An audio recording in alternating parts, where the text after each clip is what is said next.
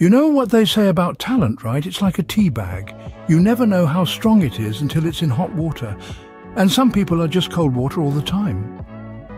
Now, let's dive into the world of talent, or rather, the lack of it, with a pinch of humour. We'll be poking fun at the cliches that often surround this topic. Because let's be honest, who doesn't love a good laugh? But if you're in cold water and still not showing any signs of colour, well, my dear, we might have a problem. So, how do you tell someone that they're as talented as a penguin trying to fly? Well, it's all about the delivery.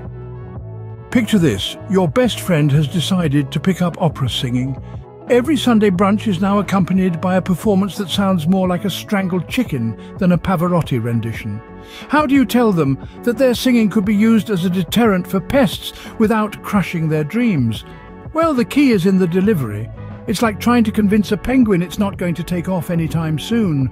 You don't just snatch away its dreams of soaring through the skies.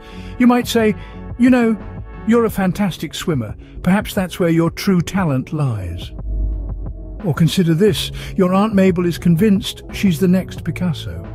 Her art looks more like a toddler's finger painting than a masterpiece, so you approach it like trying to tell a cat it can't bark. You could say something like, Aunt Mabel, your creativity is truly unique. Have you considered expressing it through another medium like pottery?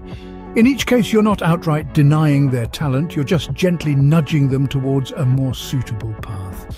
It's all about cushioning the blow with a dash of humour, a pinch of tact and a whole heap of sincerity.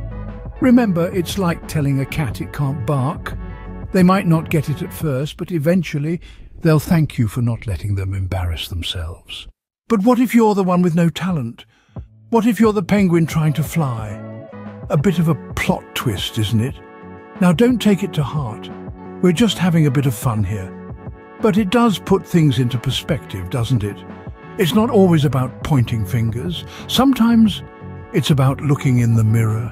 In this grand circus we call life, we might find ourselves juggling more than we can handle, or trying to walk the tightrope without any balance. And that's okay, it's all right to be a penguin that can't fly, because guess what, penguins are fantastic swimmers, so maybe, just maybe, you're not cut out for the skies.